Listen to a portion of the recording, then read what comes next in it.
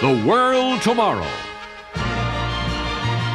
The Worldwide Church of God presents Herbert W. Armstrong, internationally recognized ambassador for world peace, visiting prominent leaders around the globe, discussing the cause of world problems, and proclaiming the good news of the world tomorrow. Ladies and gentlemen, Herbert W. Armstrong. Just what is the Worldwide Church of God, and how did I come into it? You know, in this program, I want to tell you something about my own life and how I came to come into the Worldwide Church of God and the experience that I've had in my life. Up until age 16, I think I lived a life about the same as any other American boy. I had just one thing in mind, and that was a word spelled F U N, fun. About all I thought of, I think, up until age 16 was fun. But at age 16, I had the first job of my life away from home and the man I was working for would put his arm on my shoulder and tell me how well I was working and what my performance it, it was very good and that he could see in me abilities and that he knew I would go places in the world. And he kept telling me this kind of thing and encouraging me, and somehow he aroused ambition in me. And I came to realize that ambition was just two things. Of course, it's a desire, a desire to succeed and to have, but also it is the resolution to work and to produce that desired result. And it doesn't come easy, and I knew that. Immediately, I began to study more than just the high school lessons. I began to frequent the public library, and I was reading books in the line of business administration and also in on the shelves where the books on philosophy were located. I began to think more seriously about life. And at age 18, I found a book in the library called Choosing a Vocation. It put me through a self study course of self analysis. Then it took me through a survey of various occupations, various kinds of jobs and professions. And it seemed to me that I fit in the advertising profession. Now, at that time, advertising had nothing to do with television commercials. No one had ever heard of television at that time. No one had ever heard of radio. There was no such thing as radio or television. I'm talking now about, uh, uh, let's see, about 1908 or 9.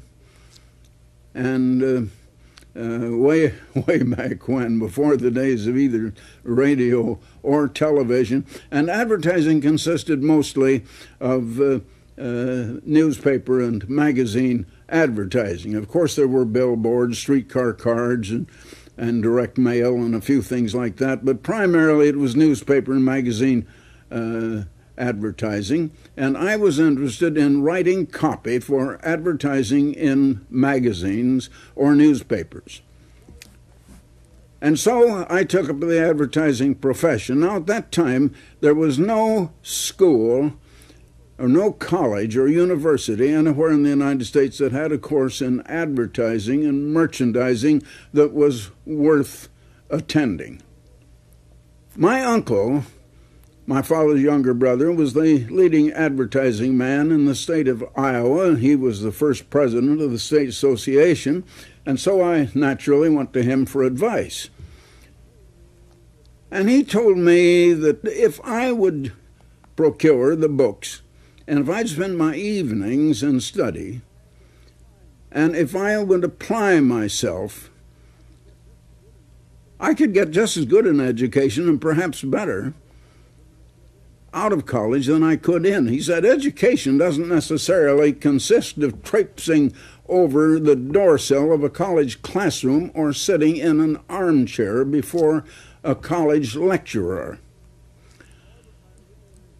However, I realized too that education consisted to some extent with contact with others who have an influence over you and who can teach you.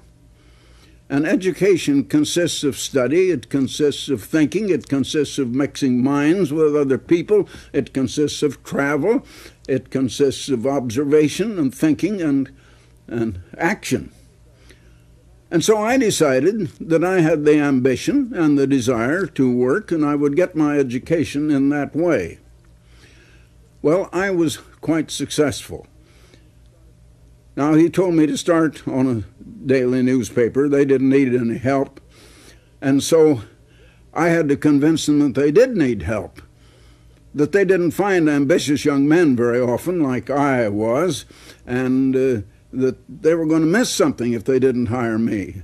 And somehow, I guess my young bravado must have convinced them I got the job. And pretty soon the rival newspaper was offering me a 33 and a third percent advance in salary if I would come over to them because I was taking too much business away from them in the advertising department. Well, to make a long story short, I went on. I was in the newspaper for a year, then I uh, was in the magazine field with the largest trade journal in the United States. For them, I handled the advertising copy for a trade journal agency, as we had established there. And part of the time, I traveled all over the United States for editorial material for the magazine.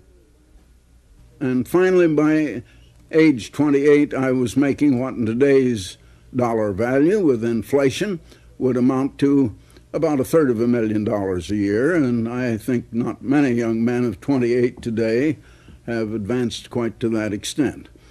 Then later, and it was in 1926, late in the fall of 1926, I had a strange experience. I had lost all interest in religion at age 18. My whole interest was in business. I dropped out of church attendance.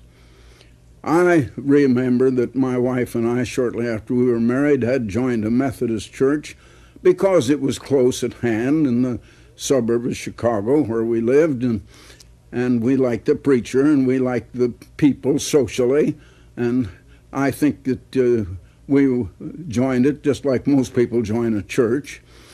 It never occurred to me why should there be a church and what's the purpose of a church or anything like that. I just suppose all good people went to church, and I wanted to be good and wanted to be respected, and so we joined the church.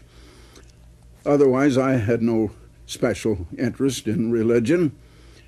But, as I say, it was at age 34, late in 1926, my wife took up with something that I considered absolute religious fanaticism, and I was absolutely shocked because I was very much in love with my wife. Our marriage did last 50 years until she died.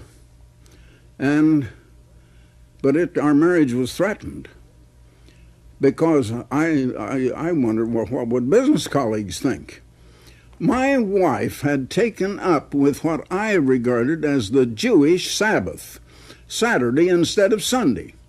Now, can you imagine that? To me, that was outrageous and that was way out.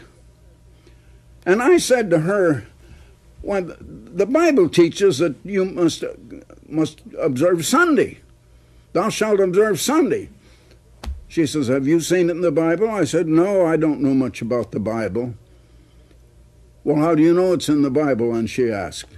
Well, I said, Because all the churches observe Sunday and they get their religion out of the Bible, don't they? Well, she asked, Well, do they? Do they? Well, certainly anybody knows that. Well, she said, How do you know? You just take it for granted that they do. Why don't you look into the Bible and find out for yourself? And that was a stinging challenge. Now, about the same time, a sister in law, just fresh out of college, had come believing in the theory of evolution. And now I had been a little bit interested in this theory of evolution. I had never made an in depth study of it that wasn't one of the studies that I had gone through because I was interested in the advertising profession primarily and psychology and things of that sort. But she said that Herbert Armstrong, you're downright ignorant. Anybody, all the colleges and universities accept evolution today. And indeed, I found that it was the basic concept or the eyeglasses through which they perceive and see uh, all philosophies and all knowledge. And she said I was plumb ignorant. Well, I had felt pretty proud of myself at that time, and I wasn't going to be called ignorant. I said to her, I'll make an in depth study of it. So I delved into the works of Darwin and his great supporters, Huxley and Haeckel, and others, like there was Carl Vogt and Spencer and others. I read up on everything. You know, their arguments were quite convincing. And I said, well, if evolution is true, then there isn't any God. And I'd been brought up in Sunday school, at least I just took God for granted and supposed there was a God. I would have said, if you asked me, do you believe in God? I would have said, well, of course. Now I began to wonder, why did I believe in God? I didn't know why. Most people don't know why they believe the things they do believe. They believe them because they've always heard them, because others do, because those around them, their peers, believe, because they've read it, or something of the kind. As an advertising man, I soon learned that people believe what they see in print. There's something about print that causes you to believe that whatever it says must be true. So I went into an in depth study, and pretty soon my head was swimming. And I had to prove whether God does exist. What is the real source of, or what is the real origin of human life? And is there any purpose to human life? And you know, I found there was there was certain evidences supposed to be evidence of evolution, but they wouldn't prove anything unless it was already proved or established. And I found the only thing that could possibly be proof was the claim that in the fossil specimens found in the rock strata of the earth laid down first, the oldest rock strata, the fossil specimens were always very elementary but in the fossil specimens laid down later, we found far more advanced fossil specimens and tending toward greater intelligence. Then I wanted to know well, how do they determine the age of strata? And you know, I was a long time, months and months, searching through libraries and searching through every book I could find on paleontology, on geology, on biology. And finally, I found it in a book by Thomas Chrowder Chamberlin, which was a college textbook. They say that because they know evolution is true, wherever they find the simple elementary fossil specimens, even if it's on the top, that must have been laid down first. And if they find more advanced and complex fossil specimens showing advanced intelligence, even though that may be clear down on the bottom and many other stratas on top of it, that was laid down last. Now, how could nature do that? That was rather silly. And how did they know then the age of strata? Simply because they said they knew evolution was true. And they only knew evolution was true because of the age of strata, which they proved by the fact that evolution was true, and they proved that by the fossil specimens. It was a big laugh. I found that evolution gives no explanation of a world of amazing and awesome progress as we have it today, and of minds that are able to produce such technological advancement as we have today in scientific advancement, and yet minds that cannot solve their problems. A world that is so full of evils and troubles, and the troubles and evils are multiplying, and people don't know any way to solve their problems. I've talked with many heads of state in their own offices all around the world and they all have problems that they can't solve.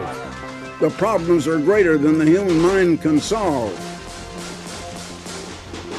And yet they can send men to the moon and back. Why? I wanted to know why. Evolution can't give you an answer. I found the answer in the Bible. Then I began to study the Bible a little bit more. And you know, I was stunned when I came to something in the book of Romans it was chapter 6 and verse 23, the last verse in the chapter. The wages of sin is death, it says. Now, wages is what you get for performance. And if the performance is sin, what you get paid is death. I said, that can't be right. I remember that even from Sunday school I'd been taught that uh, uh, if you sin, you're going to go to hell for eternity, and you'll burn and burn and burn and never burn up. So I, I said, oh no, uh, I can't agree with the Bible there. Then the last half of that verse stuck me even more. But the gift of God is eternal life through Jesus Christ our Lord. Well, now, if it's a gift of God and I'm already an immortal soul and I already have immortal life, why do I need it as a gift from God?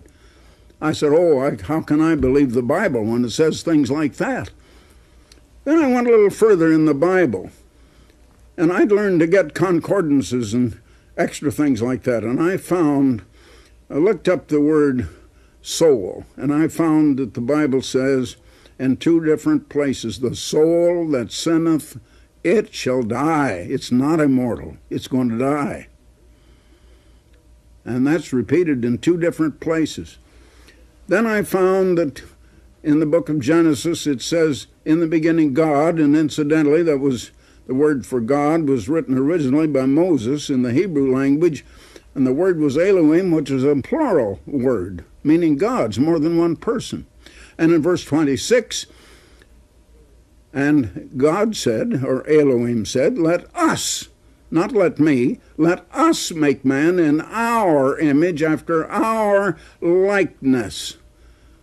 And then in the next chapter, in the seventh verse, and the eternal God formed man of the dust of the ground, and he breathed into his nostrils the breath of life, and man, that is the dust of the ground, became a living soul. Then the dust of the ground became a soul. A soul came out of the dust of the ground, not out of spirit. A soul is not spirit, and it is not immortal. And man only had a temporary chemical existence, not an immortal life. And then God said to that soul, that if he took of the forbidden fruit of the two trees before him, he would surely die. And Adam did take that, and he could have taken of the tree of life. He didn't have life, but he was offered life by the tree of life in the Garden of Eden, and he had to make a choice. And the man rejected life from God he would have received it from God, and that meant receiving the very Spirit of God, the nature of God, the life of God that would be immortality. And he rejected that, and he took the tree of death, which was the knowledge of good and evil. Now, there is both good and evil in the human mind, as God made humans. I found the Bible shows that very well and that the Bible showed that there is a spirit in man, and it is a human spirit. I found that there are three levels of spirit mentioned. One is the Spirit of God, and God Himself is Spirit. In John 4:24, I found that God is a spirit. He's composed of spirit. Man is composed of matter out of the ground.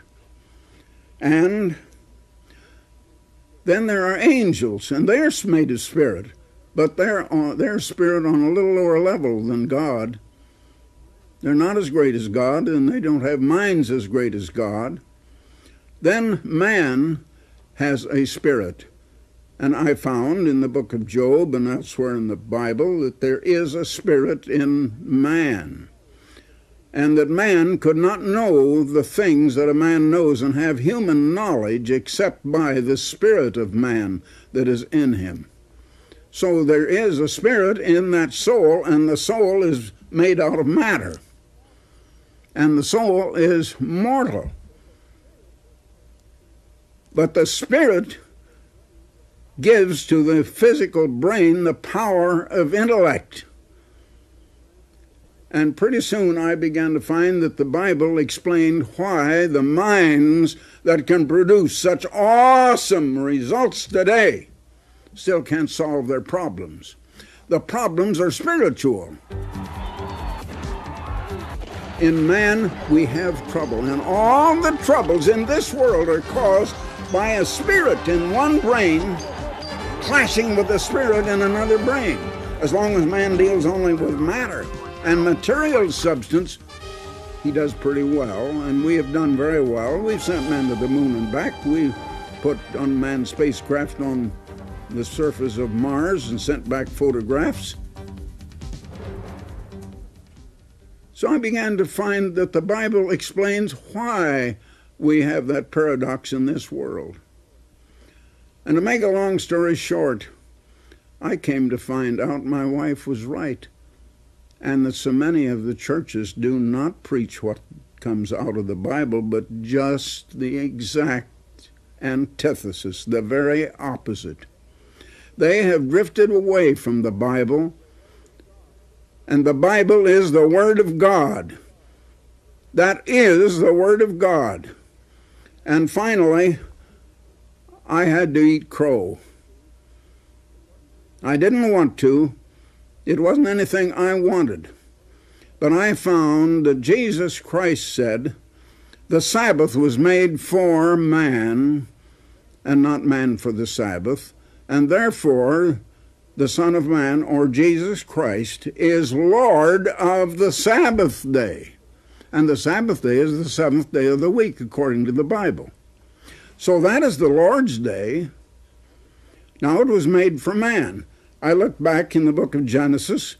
We find the creation chapter in chapter 1 of Genesis in the beginning of the Bible. And in Genesis, the second chapter, we find that after he had worked the six days, that God rested the seventh day and put a blessing on that day and set it apart for holy use and purpose because he had rested on that day and because it was it pointed right back to creation, and creation is the proof of God to keep us in the knowledge of who the true God actually is, after all. I found the Sabbath was all the way through the Bible. I found in the New Testament, let me see, that was in, I believe, the 18th chapter of Acts. The Apostle Paul sent just to the Gentiles. And some people say that all the law was done away. Paul was preaching to the Gentiles on the Sabbath day for a year and a half, only to Gentiles after he turned away from the Jews. Jesus Christ kept the Sabbath. The early apostles and the church kept the Sabbath day. Now then, what is the church of God? I haven't had time to go into that in this program. Let me send you a booklet where is the true church? I have a copy right here. Where is the one true church? Jesus Christ said in Matthew 16, verse 18, I will build my church. And he didn't say churches. And we find all kinds of churches in different denominations. He said, I will build my church. There's only one church. Where is that true church today? I'd like to give this to you gratis, no charge, no obligation. Then here's another book since I've mentioned about the Sabbath. That was the question I had to look up. I didn't have time to go into very much on it. There's a very lot in the Bible about it. Which day is the Christian Sabbath of the New Testament? Is it Sunday? And is Sunday the Lord's day? And how did that get started? Let me send you this booklet. If you're not afraid to have your eyes opened, I certainly had my eyes opened. I wondered, where is the true church? I had to find it. But here is on the Christian Sabbath and the booklet on where is the true church. Where is the true church? Now, also, once again, those of you who have not received the booklet that we've been offering for 50 years now and more, The United States and Britain in Prophecy. Over three and one half million people have requested this booklet, and they find it as an eye opener, and it shows you where the United States is mentioned in the Bible prophecies again and again and again, and it shows you what prophecy says is going to happen to the United States in the very next few years now. It's going to happen to you. Do you want to know what you're going to live through? You need this booklet if you are not one who already has received it the United States in Prophecy. So write in for one of those, and we'll give you a year's subscription to the Plain Truth, the finest magazine published in the world. It has a circulation larger than any news magazine, and it is a news magazine. It has a circulation larger than almost any family magazine or uh, human interest magazine, and it is that too. And it carries the plain truth and there's no subscription price, and it carries no advertising. It's not commercial in any sense at all. It's just packed full of marvelous articles, right up to date. It's one of the greatest magazines in all the world. Now, you just send your request to me, Herbert W. Armstrong, at Pasadena, California. Herbert W. Armstrong, Pasadena, California the zip is 91123, or many people would rather just go to the telephone and get it immediately. So go to the telephone and there's a free call. You dial 1, then 800 423 4444. 800, then 423 4444. And so until next time, this is Herbert W. Armstrong. Goodbye, friends. For the free literature offered on this program, write Herbert W. Armstrong, Pasadena, California 91123. In Canada, Box 44, Vancouver, BC. Or in the continental United States, including California, you may call this toll free number 1 800 423 4444. In Alaska and Hawaii only, call collect 1 818 304 6111. If the lines are busy, please try again in 10 to 15 minutes. The preceding program and all literature were produced and sponsored by the Worldwide Church of God.